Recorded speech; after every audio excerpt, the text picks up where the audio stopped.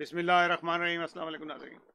नाजरीन, जब से पाकिस्तान मार्ज वजूद में आया है, पाकिस्तान के हालात अच्छे बुरे होते रहे हैं, और लेकिन यकदर जो जो तब्दीली आई है पाकिस्तान में, वो जब सेवेंटी के इलेक्शन के बाद, सेवेंटी वन में पाकिस्तान के दो टुकड़े हो गए, फौजी हुकूमत की नाकामी, पाकिस्तान के जो सियासतदान थे, उनकी खुद गर्जी और इस तरह से हालात ख़राब होते गए। ज़ियाउल्ला का दौर आया, वो एक खुद गर्ज इंसान था, जिसने पाकिस्तान का का इमेज ही तबाह करके रख दिया, एक नज़रियाती मुल्क जो था बिल्कुल बर्बाद हो गया।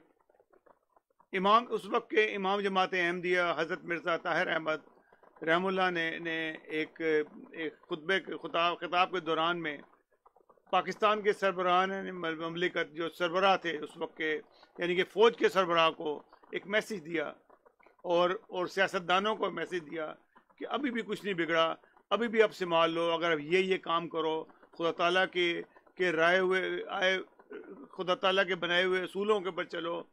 कायद अजम ने जो नज़रिया दिया था, उसको, उसकी अतात करो तो अब भी बच सकते हो।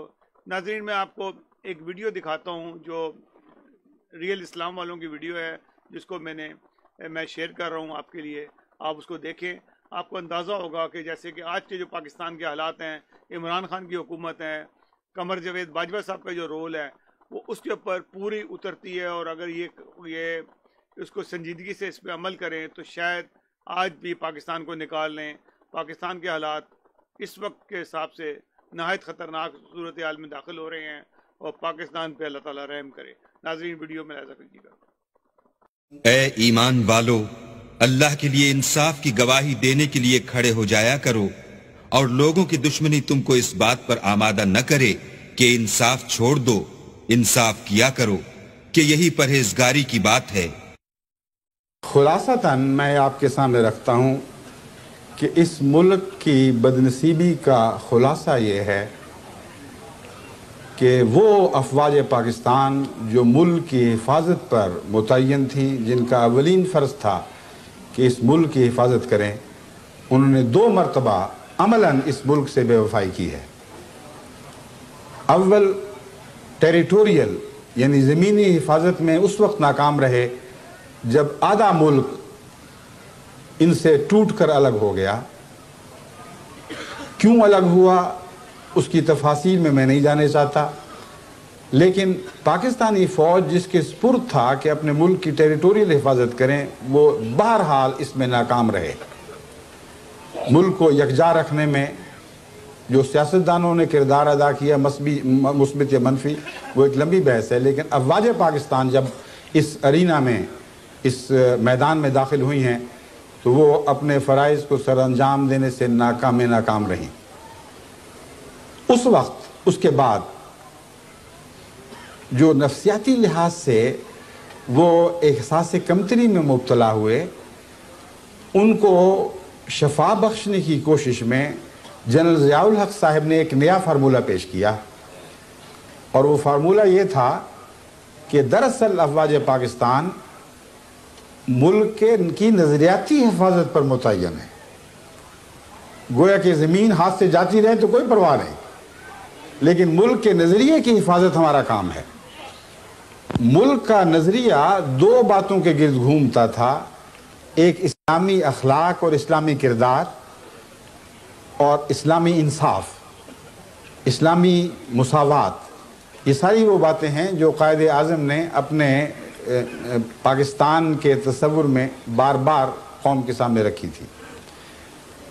और दूसरा कायद अजम का पाकिस्तान था, जिसकी बिना खालसता कौमी महब्बत पर थी और किसी मजहबी तफरीक पर नहीं थी। चुनाचे बदनसीबी से आज ये हाल है कि दीनी लिहाज से जो हाल हो चुका है वो आपने देख लिया है।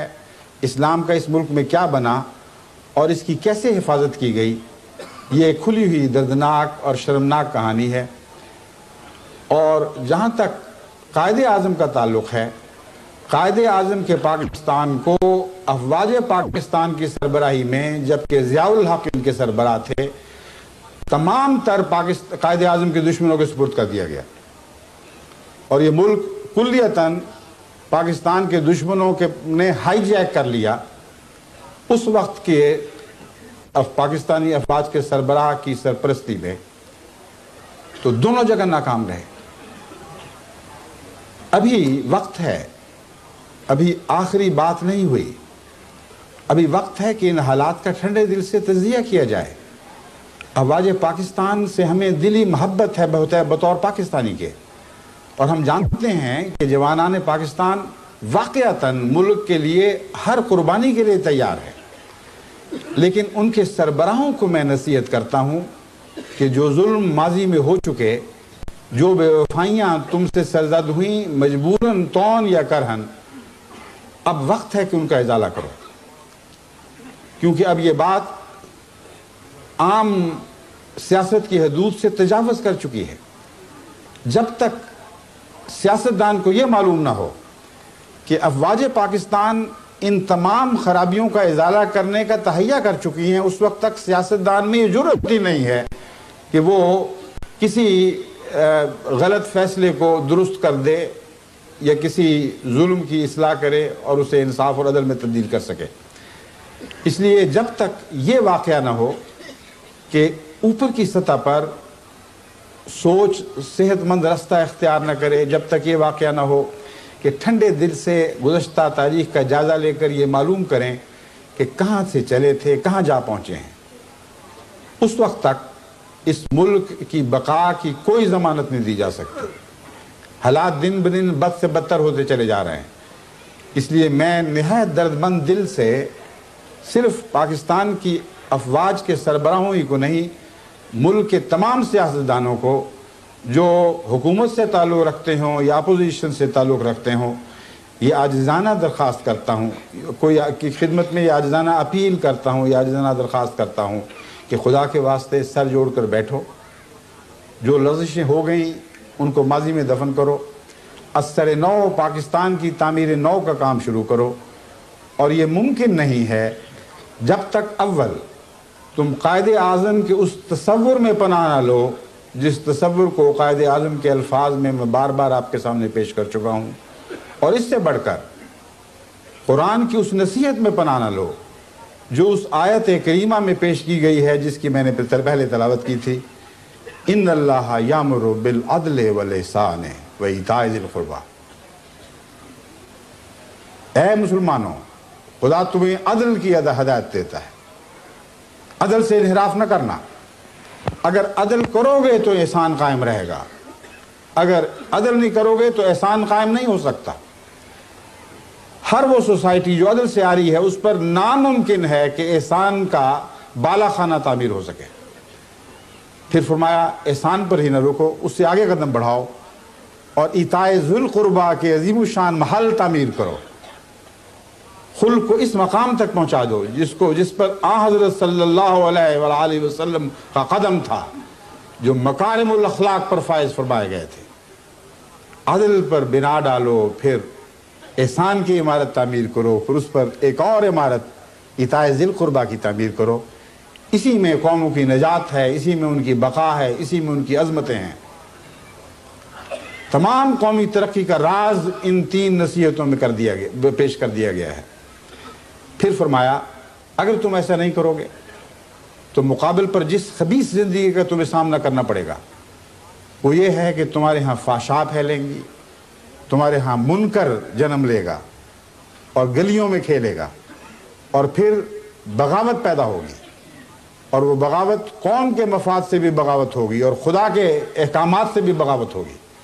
जो हाल आप सुन चुके हैं, क्या आज वाक़ता कुरान करीम का ये इंतज़ार पूरी तरह पाकिस्तान पर साजिर होता है या नहीं होता?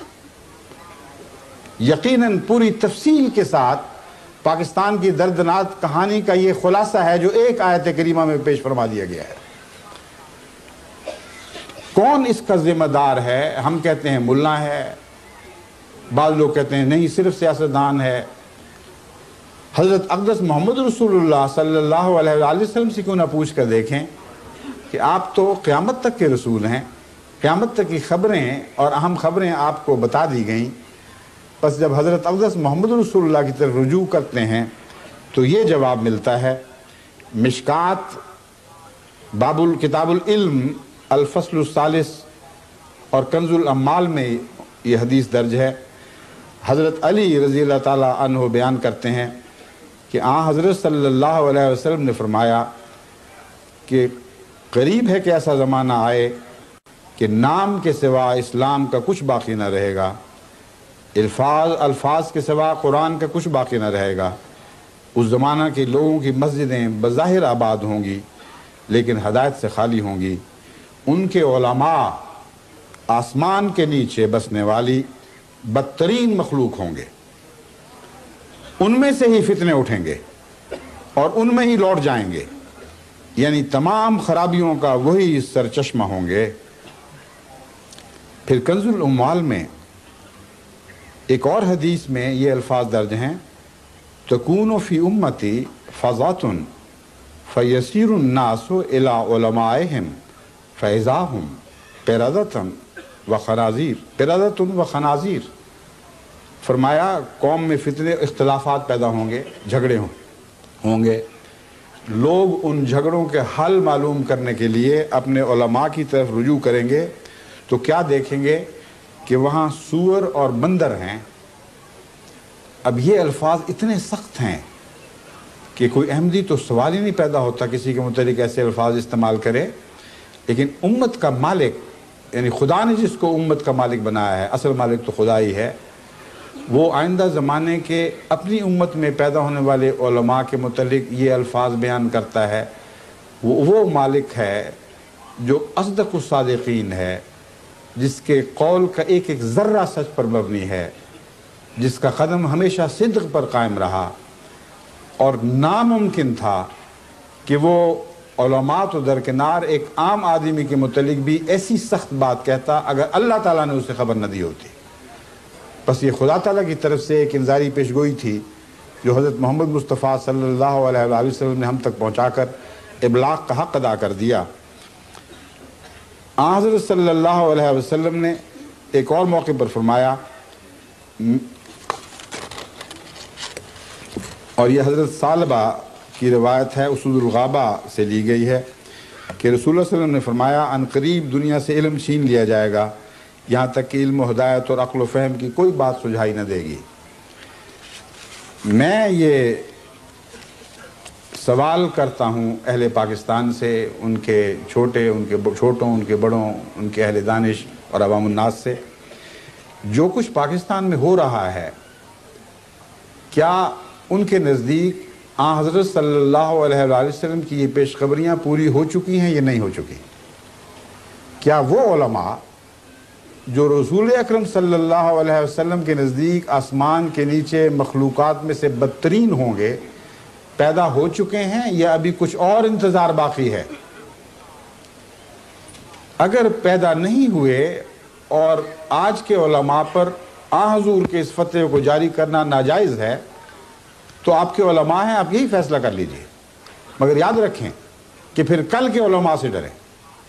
अगर आज के उलमा ने आपको मौत के मुँह तक पहुँचा दिया है तो इस नहज पर आगे बढ़ने वाले कल के वो उलमा कैसे होंगे, जिन पर हजूर अक्रम सल्लल्लाहु की पेशगोई सादिक होगी। सादिक तो बहरहाल हो मोहम्मद मुस्तफ़ा की मुँह बात, मुँह की बात है, नामुमकिन है कि झूठे निकले।